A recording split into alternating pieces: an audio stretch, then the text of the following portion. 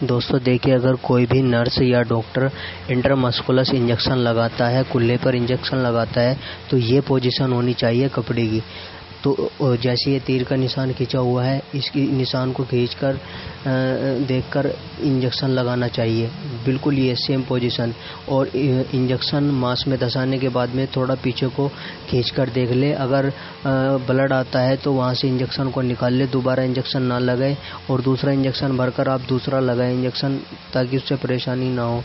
दोस्तों, इंजेक्शन हमेशा इंटरमस्कुलस लगाते समय यह ध्यान रखें कि आपको कपड़ा हल्का ही नीचे करना है, ज़्यादा नीचे नहीं करना है तो इससे आपका इंजेक्शन बिल्कुल एक्यूरेट लगेगा, जैसे इस पोजीशन में लगा हुआ है इंजेक्शन।